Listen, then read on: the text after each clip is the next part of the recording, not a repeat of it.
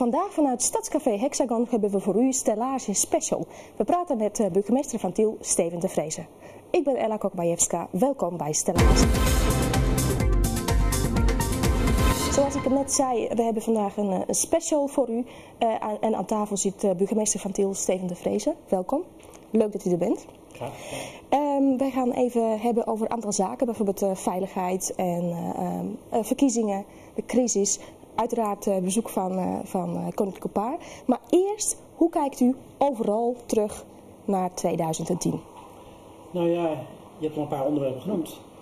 Um, het 50ste Corso kwam er natuurlijk met kop en schouders bovenuit. Um, dus als ik terugkijk op het afgelopen jaar, dan was dat echt het hoogtepunt.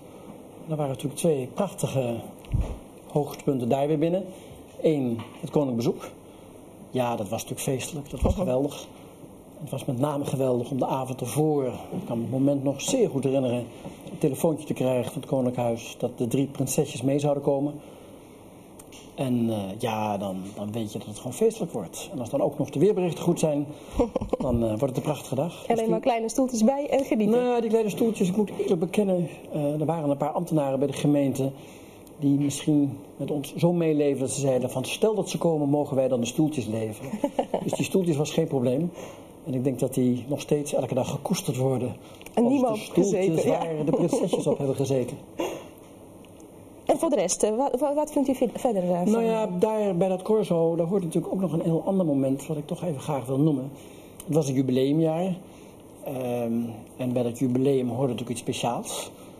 En bij de openingsavond, de week daarvoor, bij de mozaïeken, vonden wij het als gemeente leuk om een cadeautje aan te bieden.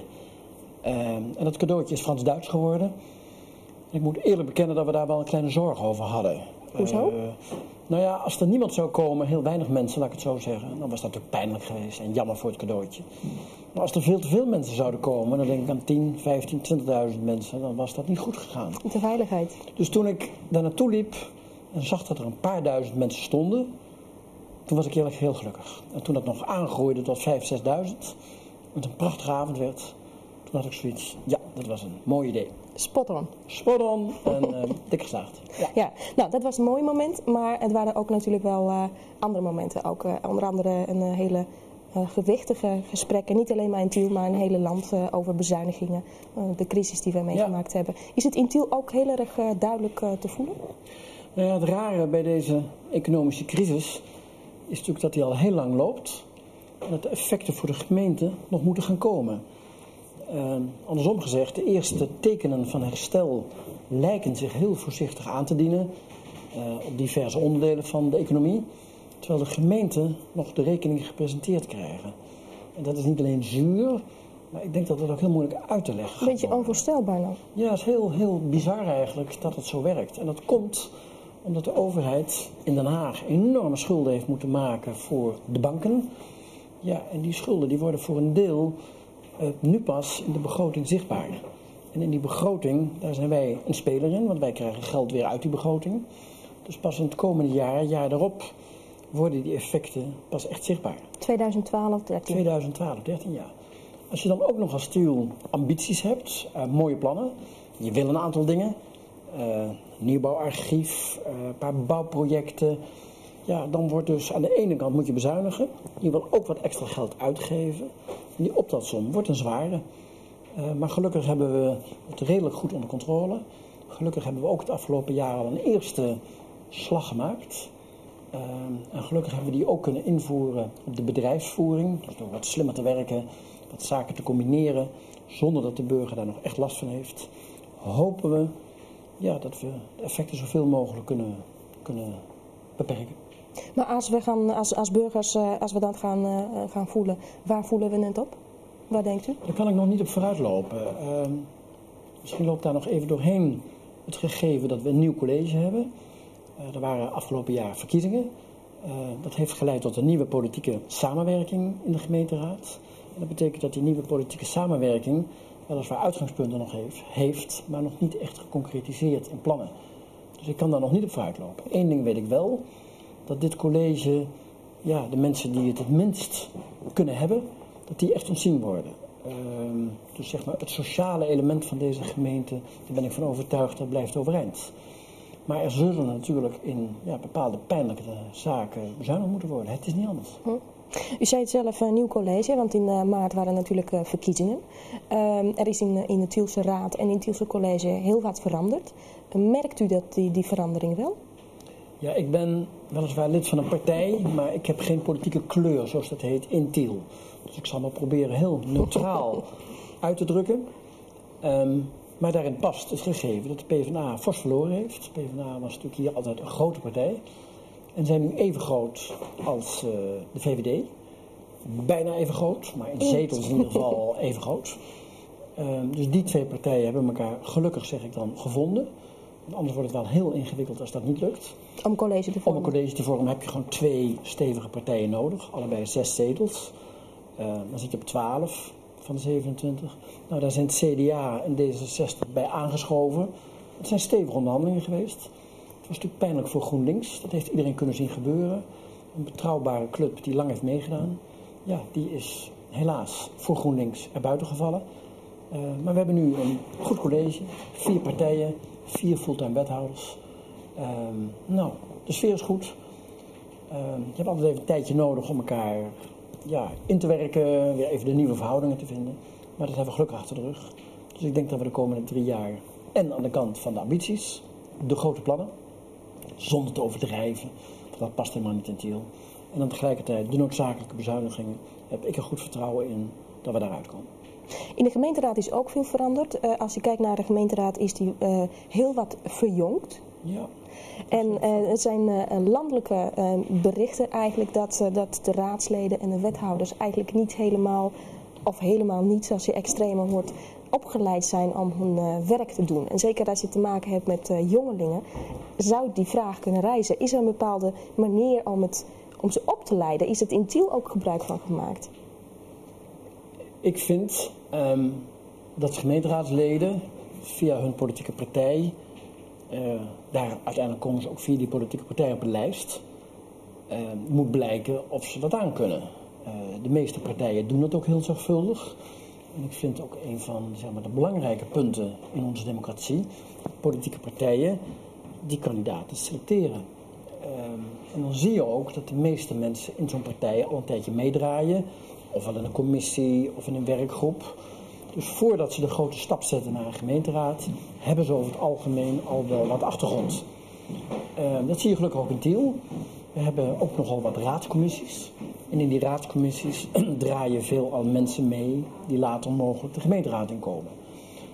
Um, dus dat is nooit zo van 0 nou, tot 100?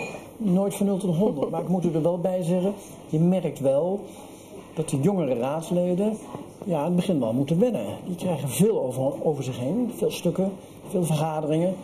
Um, en punt twee, zij die er wat langer in zitten, die zijn natuurlijk over het algemeen wat, wat beter gewekt. um, nou, in de Tielse verhoudingen gaat het over het algemeen heel goed. Waar ik wel blij mee ben, dat zeg ik u echt in alle oprechtheid, dat er een flinke groep jongeren in zitten. En die kunnen die ouderen wel aan. Dus in die zin is er wel een mooie balans. En je merkt het ook dat die jongere raadsleden ontzettend enthousiast zijn. Uh, dat ze ook meegaan op een stadsbezoek naar Zutphen. Dan daarna nog even gezellig met elkaar het café ingaan om even na te praten. Dus in die zin merk ik aan die raad dat er inderdaad een behoorlijke doorstroming is. Uh, maar het enthousiasme overheerst. Persoonlijke verhoudingen zijn gelukkig heel erg goed. En dat is heel erg belangrijk. Hm. Nog even over uh, veiligheid, want u had het over uh, Corso, een van de grote evenementen. De andere is natuurlijk Appelpop. Ja. En daar was de balans uh, tussen veiligheid en gezelligheid, denk ik, steeds het zorgpunt van, van de gemeente. Nou, ik moet u eerder bekennen dat ik de afgelopen jaren een beetje tegen mezelf ben aangelopen.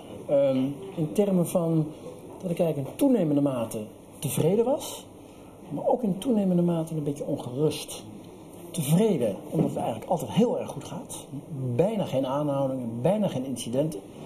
Maar tegelijkertijd ongerust, omdat ik me wel eens afvroeg: Goh, wat zou er in Tiel allemaal kunnen gebeuren wanneer er eens een groot incident is tijdens Appelpop of Corso?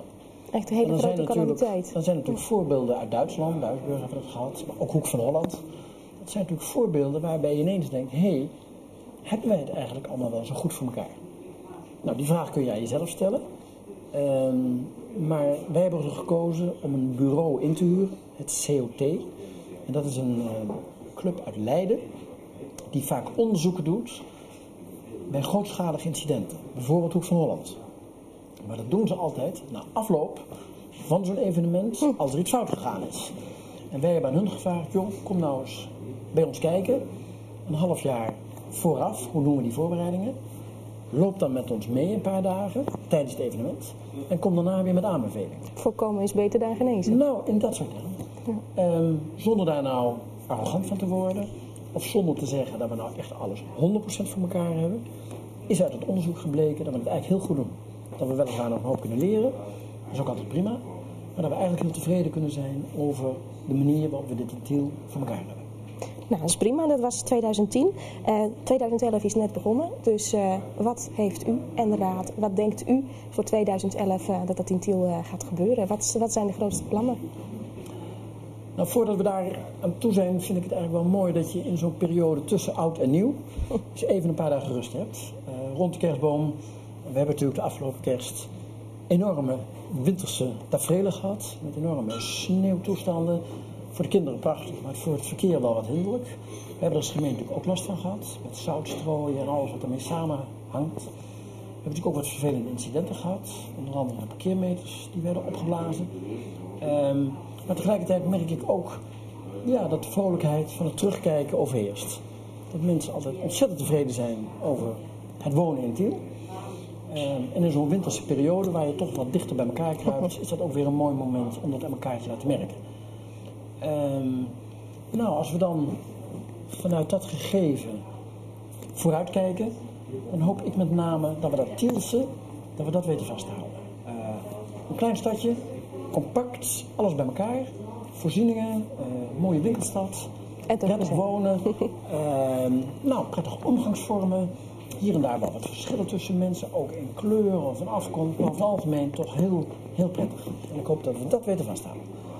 Nou, verder vind ik dat het ook bij mij past bij een nieuwjaarswens. Ja, mensen, de gezondheid, eh, een beetje gezond leven. Dat zou ik echt iedereen toewensen. De mensen die wederom van plan zijn om te stoppen met roken, hou het nou eens vol. Ehm, en als we dan 3 januari de nieuwjaarstoespraak met elkaar hebben eh, gehad, ja, dan hoop ik echt dat we met overtuiging dat jaar in kunnen. Nou, als we dan naar de gemeente kijken. eh, we hebben net het afgelopen jaar in december de besluitvorming over de West-Luidense Poort gehad. Cultuurkwartier. Dat is zeg maar de oude middeleeuwse poort die daar ooit stond. Daarom noemen we dat gebied zo. En daar moet een cultuurkwartier komen. Nou, dat klinkt allemaal heel ambitieus. Maar op zijn tiels gaan we proberen een aantal functies te combineren. De bibliotheek, de plantage. Nou, daar komen wat woningen omheen. Daar moet parkeren onder. Dat is allemaal ontzettend goed doorgerekend. En ik hoop van harte dat de berekeningen kloppen. Daar mogen we echt van uitgaan. Ja, en dan gaan we, zoals dat duur aanbesteden. Dan gaan we dus kijken of een aannemer het voor die prijs ook wil gaan bouwen. En als dat dan zover is, dan gaat het, nou ik hoop, over niet al te lange tijd, eh, de paal de grond in. Maar dat is nog niet in 2011. neem Nee, dat is niet in 2011, maar het betekent toch wel dat we daar in 2011 enorm mee bezig moeten zijn om dat voor te bereiden. Dus dat gaat heel veel tijd vragen. Heel voorzichtig gaan we ook nadenken aan de andere kant. De voorstad, eh, de Zandwijkse poort, het andere poortgebied. Ook daar moet het een en ander gebeuren. Dat zal nog wel weer een paar jaar verder duren. Eh, maar ook die voorbereidingen hoop ik dat die voorzichtig op gang komen. Nog weer verder doorkijkend eh, rond het station, rond zeg maar, het hele Albert Heijn terrein. Daar gaat denk ik ook het een en ander gebeuren. Nou, al die plannen op een rij. Nogmaals, daar zult u in 2011 nog niet veel van merken. Maar ik hoop wel dat die heel langzamerhand in de agenda's gaan komen. Nou, dat zijn de plannen. Ehm, ja, zoals we net ook hebben aangegeven, er moet bezuinigd worden. Dat doen we gelukkig op Sint-Tiels in heel goed overleg met de gemeenteraad. Dus we gaan in de komende weken, maanden samen met de gemeenteraad nadenken over, als er dan bezuinigd moet worden, hoe zou je dat het beste kunnen doen? Hoe zou je zaken die we echt moeten ontzien kunnen sparen? En daar waar, hoe jammer het is, het onsje minder kan, zou je dat moeten doen. Ik denk dat we daar rond het voorjaar moeten zien uitkomen, zodat we met de begroting 2012 die we dus halverwege 2011 aannemen, eruit. Nou, al met al een heel ambitieus uh, jaar voor, uh, voor Tiel 2011. Ik wens u heel veel succes daarmee en uh, hartelijk dank voor dit gesprek. Ja, en ik wil jullie ook bedanken voor alle uitzendingen, de manier waarop de gemeente altijd weer in beeld komt. ik vind dat voor de gemeenteraad altijd heel leuk. Ook in de hoop dat daarmee mensen iets meer begrip hebben voor wat we doen. Dus ik wil graag jullie ook als Stadstelevisie heel veel succes toewensen in het komend jaar. Hartelijk dank. Graag gedaan. Dit was Stellage voor deze week. En volgende week, al zeg ik het zelf, een bijzondere aflevering van Stellage. Dus tot volgende week.